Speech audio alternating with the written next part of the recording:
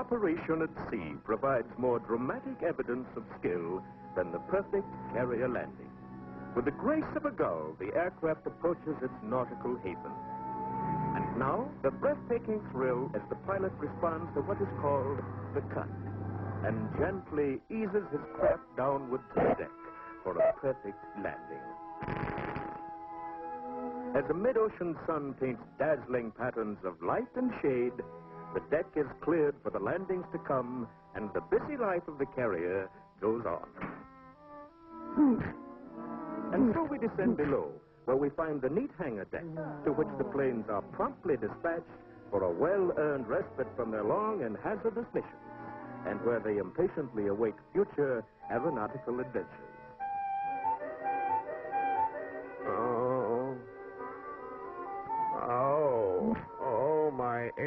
Head. Uh-oh. You got DDTs. Huh? DDTs? Yeah, deck dive tremens. Very common, but don't worry. You'll see worse, worse cases than that down here, such as ang, ang, ang, uh, anglomania. That ang, ang, angling in disease you get from the boys who always overshoot or undershoot the groove. Catch the wire at an, at an angle, and it is. Planes weren't built to take that wire off center. Gives them ang, anglomania. But then that isn't all you can get. You might be exposed to one of the boys who always holds off, keeps pulling back on the stick, won't set it down. For him, they invented the barrier. And do you know what that nets you? Flotophobia. Of course, that's rather mild. But, brother, the real menace is the deal you get from nervous flyers who disobey the cut. Now, every pilot knows that when the LSO gives him either the cut or the wave off, he must obey it. Yet, the nervous ones won't accept the decision. They not only risk their own necks, they risk blowing up the carrier.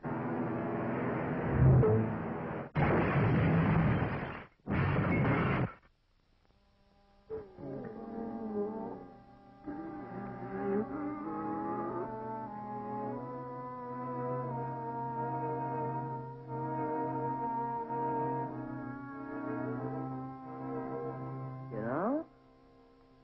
You know, they they say there are some good flyers in the Navy. Maybe maybe someday, in one shining hour of a beautiful tomorrow, an ideal pilot will come to our squadron. And he'll make a clean approach and line up along the center. And after the cut, he, he'll fly us all the way down to the deep, down to the down to the deck. Oh, oh, but no. Impossible. We're all doomed.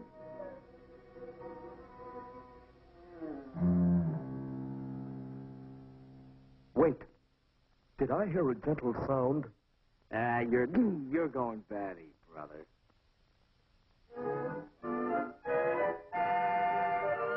Holy cow! Look! A normal landing.